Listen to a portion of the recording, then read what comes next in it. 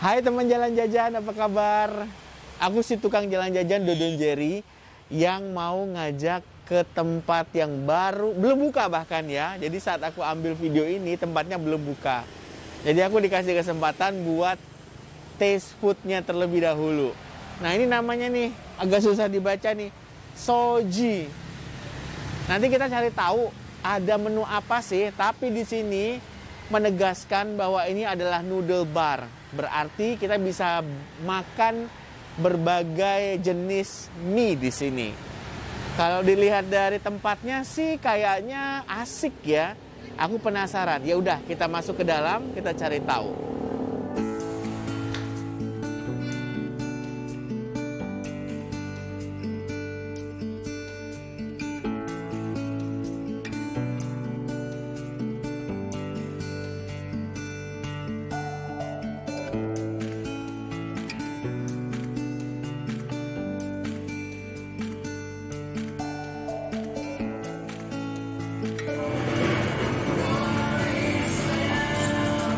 Jadi aku udah sampai di Soji, ya aku nyobain noodle barnya. Jadi di situ aku udah lihat ada empat menu yang bisa dipilih.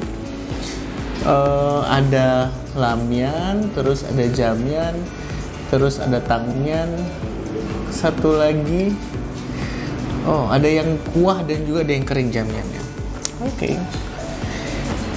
Dan juga kita punya side dish, ada sukiao, ada onsen. Egg ini aku baru nemu nih di sini. Beruntung sekali ya. Terus ini ada soya egg. Ini ada minyak cabai chili oil. Dan ini sepertinya aku juga mau coba tapi nanti deh cobain apa ini. Hmm ini garlic. Garlic oil Oke. Okay. Jadi hakikatnya pada mak pada saat kita makan mie itu dua hal penting yang harus kita coba duluan. Yang pertama mie-nya sendiri uh, tanpa dicampur apa-apa kalau dia udah enak, dia pasti enak. Yang kedua adalah kaldunya. Ini yang um, pedes kayaknya ya. Ya. Hmm. Juga kaldunya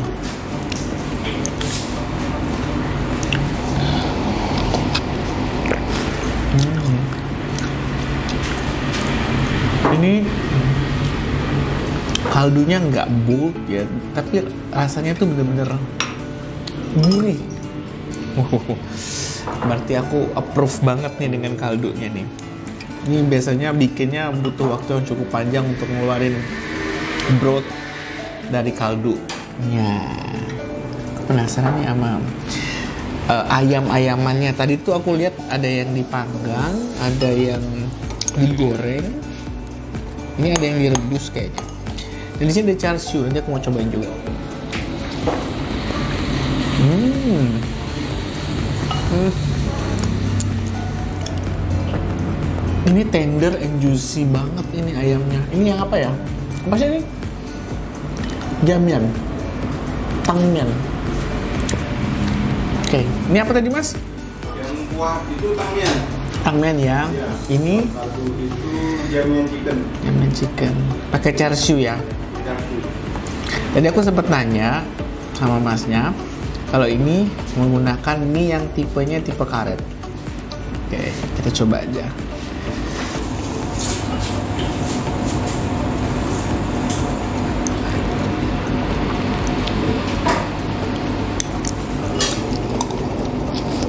Hmm.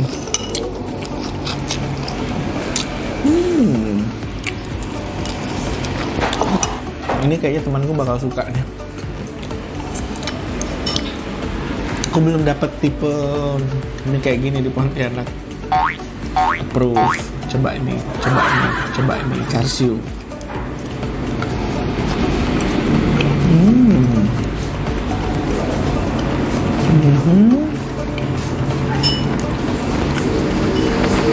Casunya legit ini ya. Hmm. Hmm. Yang digoreng juga crispy, gurih. Dan dari empat jenis ayam ini aku makan semuanya masih juicy dan nggak ada yang dry sama sekali. Bagaimana dengan ini?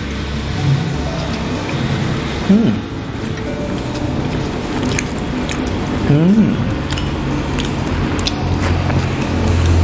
Apa ya?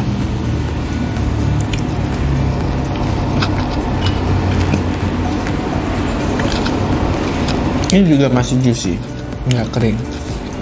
Oke.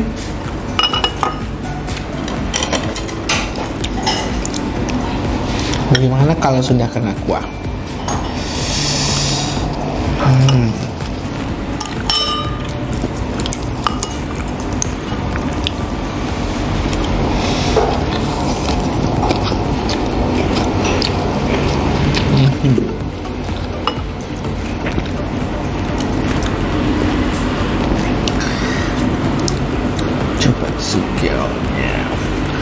Jadi em, satu yang aku suka dari keempat mie ini dia nggak terlalu asin ya. Biasanya tuh asin dan gurihnya tuh agak berlebihan. Kalau yang ini nggak. Hmm. Hmm.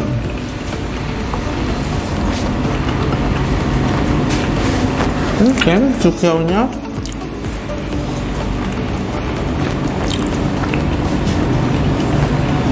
pakai chili oil ya.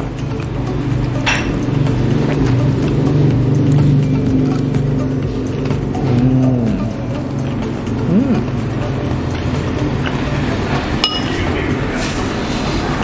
Hmm. Ini bisa habis empat nih kayaknya nih. Tapi masih banyak yang lain. Tapi aku paling suka tekstur ayam yang ini ya. Itu juicy banget yang ini. Ini juga pemilihan dagingnya tepat. Hmm. Terus ada tekstur manisnya. Aku suka. Hmm.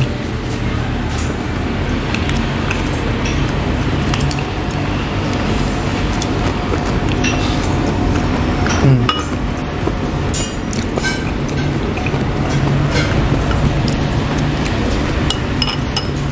Jadi overall noodle bar ini di Soji ini memang sesuatu yang baru di Pontianak. Yang pertama. Yang kedua tekstur mie nya juga baru menurutku.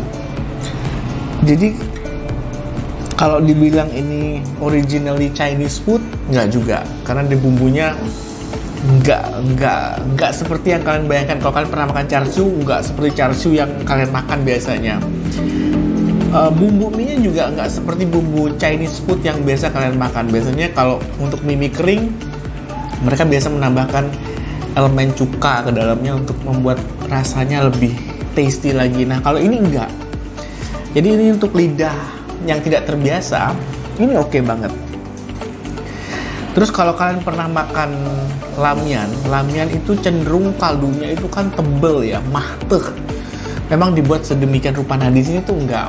Jadi buat yang baru nyobain makan mie lamian gitu, dia nggak kaget. Terus yang kedua, yang ketiga yang saya suka tuh tekstur uh, daging yang digunakan. Jadi sama sekali di sini nggak kering. Agak susah ya kalau kita uh, panggang, goreng itu mendapatkan tekstur yang pas. Nah di sini sepertinya uh, tingkat panasnya terus lamanya memasak itu sangat diperhitungkan sehingga semuanya um, good ya overall. Nah satu lagi nih, satu lagi yang aku suka kaldunya ini kalau aku tambahin yang lain, tambahin uh, chili oil, tambahin garlic oil, itu nggak merusak rasa aslinya. So ini cute banget dan satu lagi kalau kalian belum pernah makan telur onsen, they have one. ini dia uh, telur goyang ini ini agak-agak tricky ya buatnya. Dan kalau kalian nggak biasa makan juga agak tricky. Jadi saranku kalau kalian mau makan di soji pada saat minyak disajikan kalian langsung masukin. Ini pasti enak banget. Overall ini approve ya kalau kalian pengen makan. Mie, pengen coba sesuatu yang baru. Ini jenisnya mie karet, kenyal, enak. Walaupun kalian tidak langsung makan, ini masih tetap kenyal. Walaupun sudah direndam kuah juga ini tetap kenyal. I love it. Hmm. Ah, sedap. Ini sedap. Ini porsinya juga lumayan gede. Jadi kalian tinggal pilih mau suka yang pedas, mau yang uh, rasanya benar-benar uh, gurih. Nah, ini ada semua pilihannya. Selamat makan. Hmm. Hmm. Hmm.